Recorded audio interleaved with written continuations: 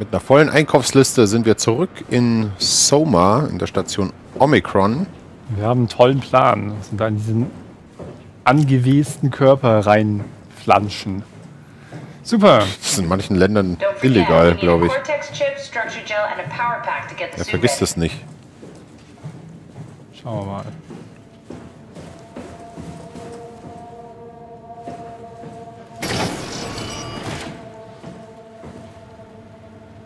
Storage, wenn es da mal keinen Akku gibt.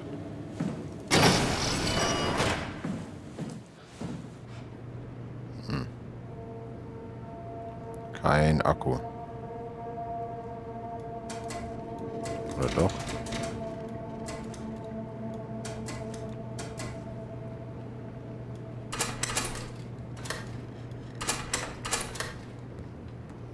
Was ist denn hier los? Die Schränke plötzlich abgeschlossen?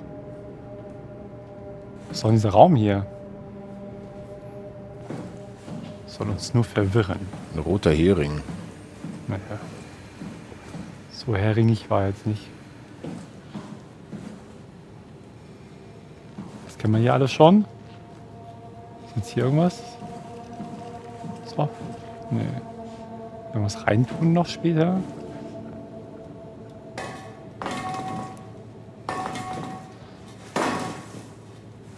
Wäre ich jetzt gar nicht drauf gekommen. Kann man eigentlich das irgendwie äh, drehen? Ging das irgendwie? Mit R. R gedrückt halten.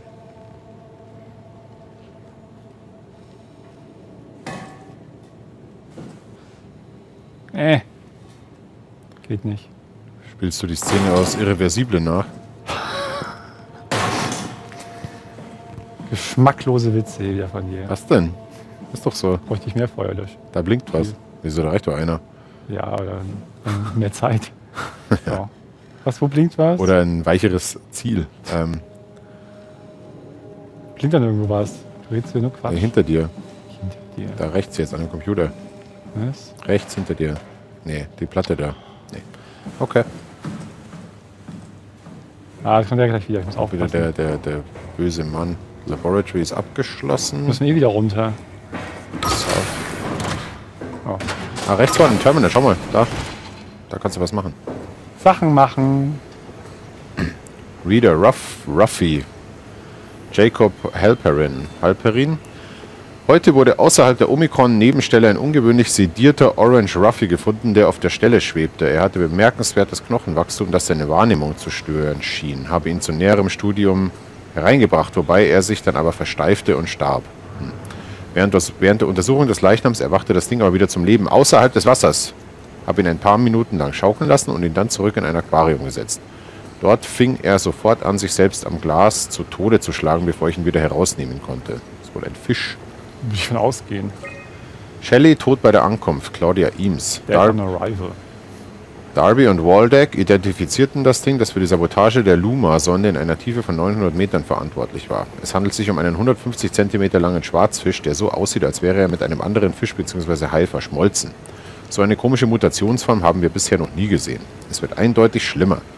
Irgendetwas verursacht dies und den Unsinn mit dem radioaktiven Niederschlag, über den Orvari ständig redet, glaube ich einfach nicht. Johann Ross, tot bei der Ankunft, Claudia Imes. Den toten Mann, der heute Morgen auf der Aufzugsplattform gefunden wurde, wurde identifiziert als Johann Ross, den KI-Psychologen, der in Tau gearbeitet hat. Ich kann mir nicht im geringsten vorstellen, was da unten im Abgrund passiert ist und ehrlich gesagt werde ich mein Personal nicht riskieren, um da unten nachzusehen.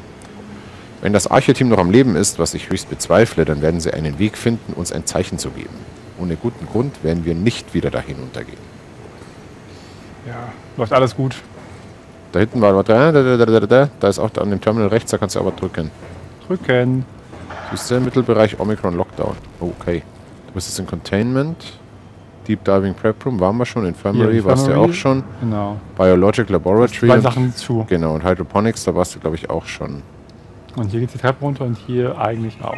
Oben Containment Power Room, Mess Hall, Containment 2 Airlock, okay, und bist was abgesperrt. Und unten Dress Room, Workshop, Containment B. Noteingriff.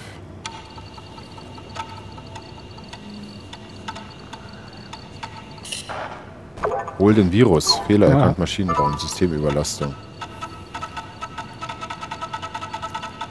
Das ist ein Diskettenlaufwerk. Oh, Minesweeper.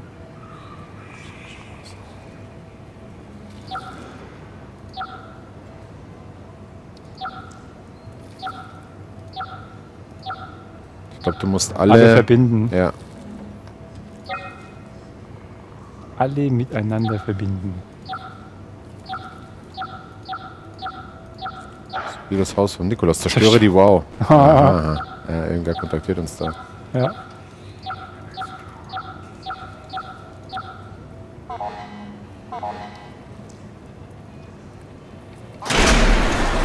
Aha.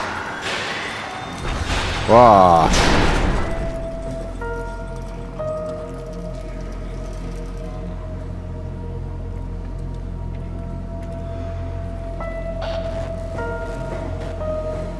Ach, das alles nicht. Echt jetzt. Kannst du den anzapfen? Nee, ne. Jetzt kommt endlich wieder mal Musik. Ich mag das alles nicht.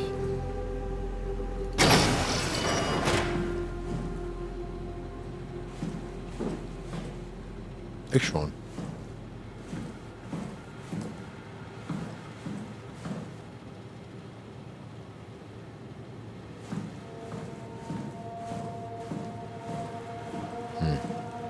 Geh mal runter jetzt in den anderen Warte Raum. mal, schau dich doch mal erstmal oben ganz überall um.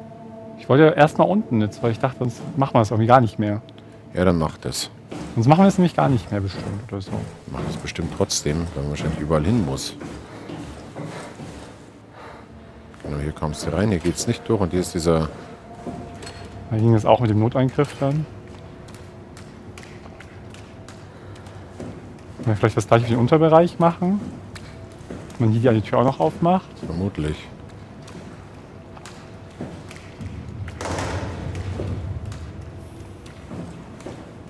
South Hall. Mal gucken.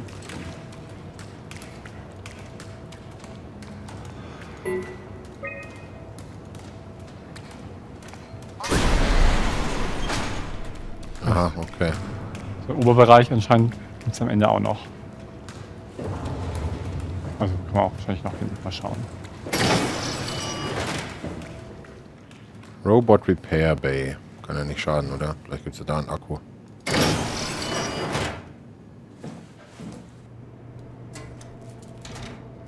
Ist echt alles abgesperrt.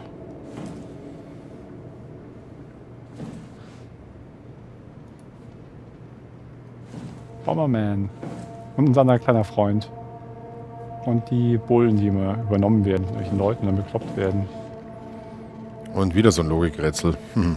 Ah, da kannst du den Cortex-Chip dann auswerfen Ja, lassen, wenn du es richtig machst. Das kann man die irgendwie immer drehen und dann das ist weitergeleitet.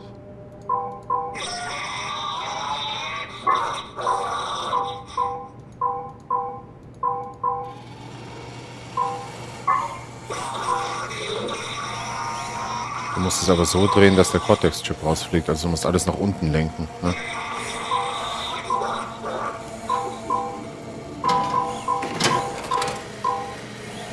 Jetzt.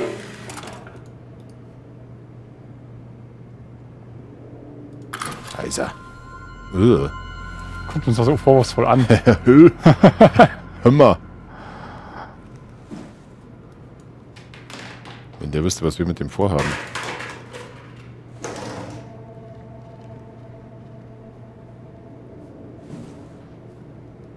Na dann. Cortex Chip haben wir. Fehlt noch der Akku und ordentlich Strukturgel.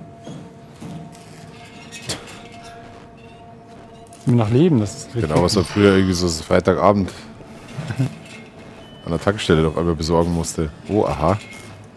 Sehr androidisch sieht das aus, ne? Ja, Aber geil mit so einem Lüfter da vorne. ja. Vielleicht ein bisschen übertakten. Einen besseren Lüfter verbauen. Ist aber Alien so geil, wenn der eine durchdreht. Der ist echt cool, ja. Also wie, wie das aussieht, wenn sie ihn dann kaputt hauen. Hier ist auch wohl jemand durchgedreht.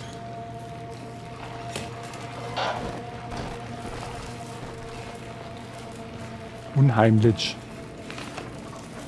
The Heart of Alpha. Find Tau and Alpha, take the gel to Alpha. Hm, okay. Wenn wir dann alle anfangen so zu schreiben. Mhm. Daran erkennt man, dass einer wahnsinnig wird. Wo es geht, manch ein Freund von mir, der äh, zentral hat mit mir Physik, äh, Physikleistungskurs gehabt und ähm, kann in der äh, Richtung auch einiges und ist das irgendwo in der Raumfahrttechnik irgendwie äh, entwickelt da Raketen, keine Ahnung, also wirklich so in die Richtung. Hat da euch was drauf. Der schreibt wie so ein Elfjähriger. Echt? Die Schrift ist halt total krakelig und sieht echt aus, als wenn er gerade schreiben gelernt hat. Oder sonst war es so ziemlich klug, aber schreiben kann er halt nie für fünf Pfennig. Sieht mir total scheiße aus. Dafür, aber andererseits ist er schon, ähm, schreibt wie ein Elfjähriger, aber geistig immer schon, war immer schon so 50 immer so. Okay. Der hat schon Anfang 20, hat er halt irgendwie so einen Golf gehabt von seinen Eltern dann und er hat einen Teppich im Kofferraum gehabt. Und, und so ganz komische Sachen. Immer wie, wir Ja. hatten noch so gefehlt eigentlich so eine Toilettenpapierrolle, so mit Gehegelübersatz hinten auf der, Oder auf diese, der Hol- diese, diese Holzkugelrückenauflagen. Das ist, so ist der, der ist komplett so drauf. Ja. Das ist total super, der Typ. Zum Thema Alter und Raumfahrt. Letztens was gelesen. Ja. Das war ein Podcast, den ich aber noch nicht gehört habe. Ähm, wo man gar nicht so drüber nachdenkt. Alpha, Alpha Needs Medicine. Medicine. Okay. Also ist Alpha ist sick. auch wieder irgendjemand. Dass äh, die Voyager-Sonden sind ja immer noch unterwegs und immer noch erreichbar per Funk. Mhm. Und man kann da immer noch Daten abzapfen, beziehungsweise muss die immer noch warten oder man muss auf jeden Fall immer noch mit denen in Kontakt bleiben. Ja. Und das Geile ist, dass die Leute, die halt damals die Voyager ins All geschossen haben in den 70ern, dass die jetzt natürlich nicht mehr so jung sind wie damals noch in den 70ern. Ja. Das heißt, es gibt so eine Truppe von ein paar wenigen, ah, mach das lieber wieder an, paar wenigen Rentnern, die immer, immer älter werden und die vor allem auch immer weniger werden, die noch in der Lage sind, die Voyager-Sonden korrekt zu bedienen. Das, kann, kann, das Wissen kann man ja weitergeben. Ja, aber es ist ja, aber quasi so die Expertise und die Übung, wie es halt manchmal nur, keine Ahnung, dass du manchmal halt auf den richtigen Terminal irgendwo draufhauen musst, damit das Ding dann wieder läuft. So. Das werden halt immer weniger und die werden auch noch immer älter, die das können. Das finde ich schon ganz cool. In So. den Abgrund. Nimm es zur Take Alpha. it to Alpha in the Im Abyss. Abgrund. Okay, im Abgrund ist irgendwie Alpha. Und Alpha braucht Ja. Medizin und Alpha ist, möchte das Gel und Alpha Alpha. Alpha ist ganz toll. Ich glaube auch. Audioplayer. Gehen wir doch mal chronologisch vor. Nimm das Gel. Stand da irgendwas gesehen? Echt? Ja, stand hier eben, nimm das Gel. Hm, Okay. Unable to connect. Lumar relay out of range. Tau, please respond. This is Rowley Herber calling from Omicron. Die ist schon tot. Please respond, Tau. Auch schon tot. Unable to connect. Lumar relay out of range. Omicron, can you hear us? Loud and clear. Everyone all right? We will be as soon as we make friends with the power suits. I'm sure you'll get used to it. Look at that. Just wanted to check in before we pass the last working Lumar probe. Guys, any last words to Omicron? Don't forget to pick us up. You uh, heard that, right? Don't worry, we won't forget. All right. Heading into radio silence. Good luck, guys. Wir leben, oder was stand Wir da gerade? leiden. Wir leiden, oh. Das, wir lieben wäre freundlicher Ich gewesen. wünsche dir Leben ohne Leiden und eine Hand, die deine hält. I hear you, Herbie. What's up? Uh, just wanted to check in. I have to go do something. I might not be around for a few days, okay? Rally Herbert leaving the listening post? Must be important. It is, Strask. It is. Okay then. Stay safe. Hör mir zu. Hat die Herbie hier das alles gemacht? Könnte sein. Da war die auch nicht mehr so fit. Mach doch mal hier da reinlangen. Nein. Doch. Ich will nicht über, immer da reinlangen. Wir- Uns geht's gerade ganz gut. Na schön. Ist ja auch nicht. Ist man manchmal ganz froh sein, wenn man gerade nicht reinlangen muss. Okay, okay, okay, okay. Chill mal, Mann. Boah! Der war aber vorher noch nicht da.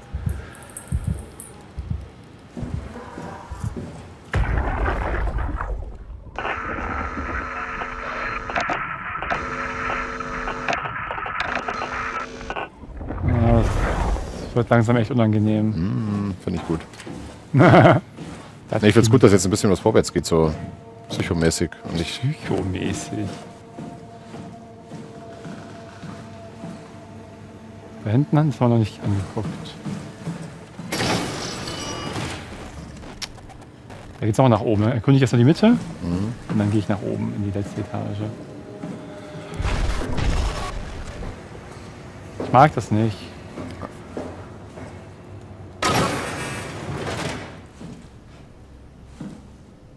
Keine Verunreinigung. Na dann.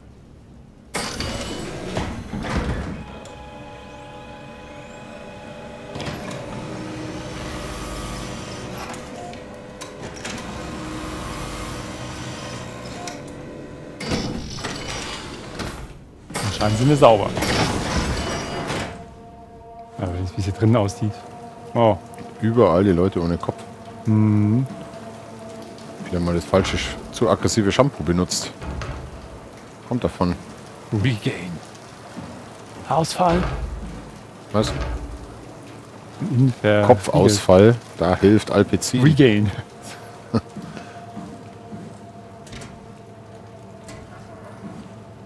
Regain hat viel bessere äh, Haarausfallwerbung als. Schau, der kann sich jetzt noch nicht mal mehr in der Dusche hinkauern und weinen, weil ihm irgendwas Traumatisches widerfahren ist. Wie man das so macht.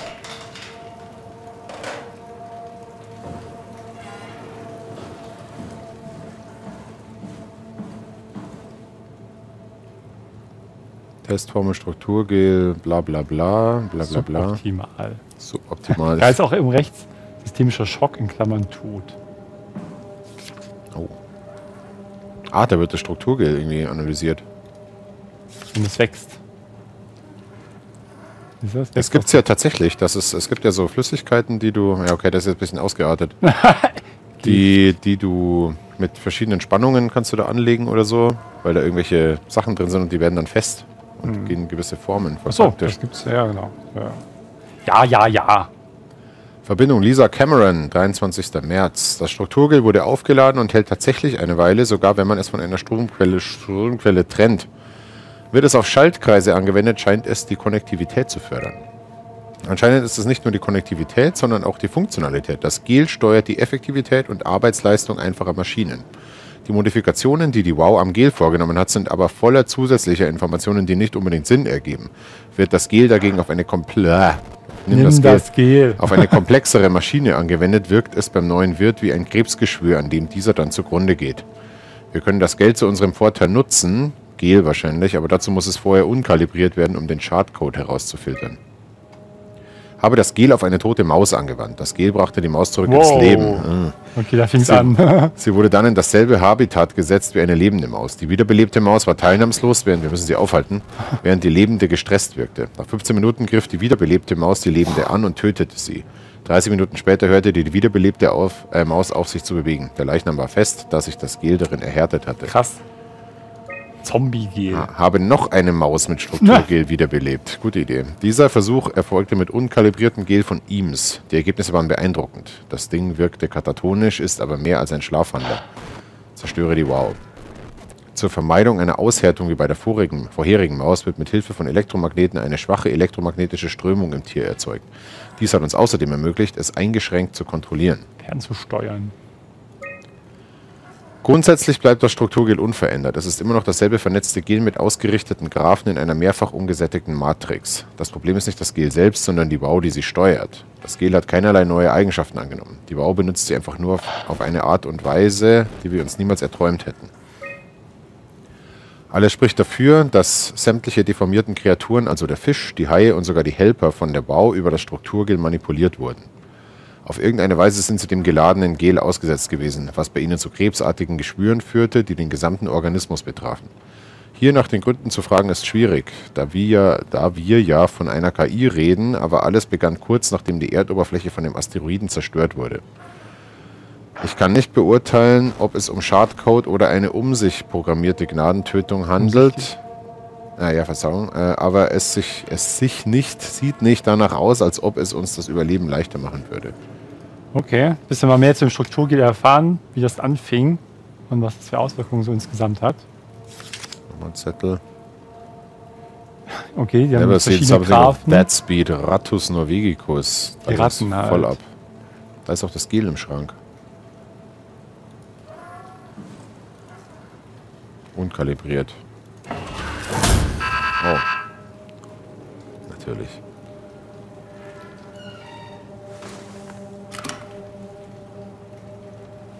Habe ich einen anderen Chip gehabt, der so ähnlich aussah?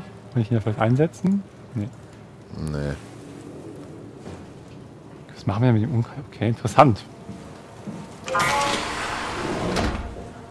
Dispense Gel, Zelle. Mhm. Rack. Aha, Können wir vielleicht reparieren hier da ist eine tote Maus. mit Chip.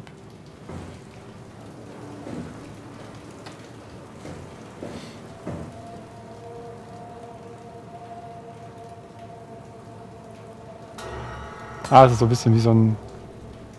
Am Jahrmarkt. Ja, das kann ich super. Ich hol dir. Was möchtest du haben, Daniel? Den Teddybären. Okay. Mache ich. Gel drauf und alles wird gut. Da stand schon Buchert's.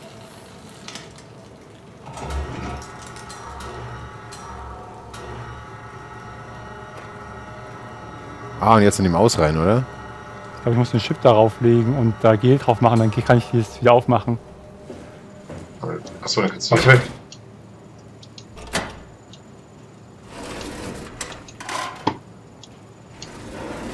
Ah, versuch doch mal die Maus zu aktivieren. okay. Machen wir das mal. Vielleicht passiert ja was. Ja, das sehe ich schon ein paar Mal. Das ist trotzdem cool, stimmt schon. Ja.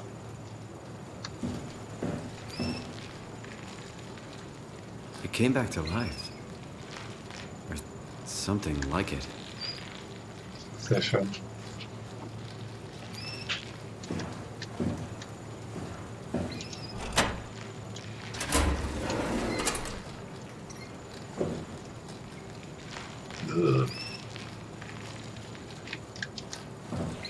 Wir sind schuld daran jetzt. Tolle Idee. Wir haben Leben erschaffen. Hervorragend.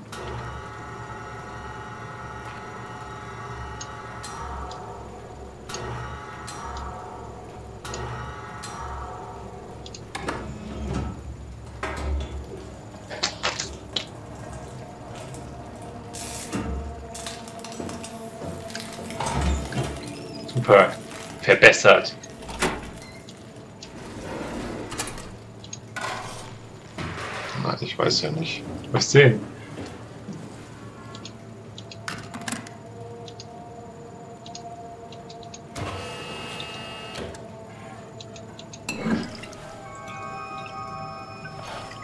Ja, Wahnsinn. Unkalibriertes Gel. Das ist halt nicht anscheinend, was sie meint, mit dieser möglichen Schad. Das ist noch nicht mit äh, Zeug aufverseucht. Ja, genau. Aber hat aber nicht ganz so starke Möglichkeiten. Also die Ratte, die sie mit unkalibrierten Gel behandelt haben, ist jetzt nicht so sofort zum Leben erwacht und war nicht so aggressiv. Andere hat nicht gekillt, aber die war irgendwie so ein bisschen so katatonischer Zustand, aber am Leben. So wie ich nachher auch Und sie konnten mich so ein bisschen kontrollieren. Aber Ja. wird interessant, was wir mit dem Gel anstellen. Jetzt fehlt uns nur noch der Akku und dann können wir den Taucheranzug und damit endlich in den Abgrund. Vor allem, vor allem haben wir das äh, unkalibrierte Gel und werden damit nicht selber sofort zum Bausklaven, wenn wir das uns Wobei wir uns ja an diesen äh, ja, Dingern sowieso schon ständig vollgepumpt haben, glaube ich. Gel, äh, vielleicht. Ja, bestimmt. Ja, werden wir sehen. Also, Na dann. wir sehen uns dann die nächsten Tage.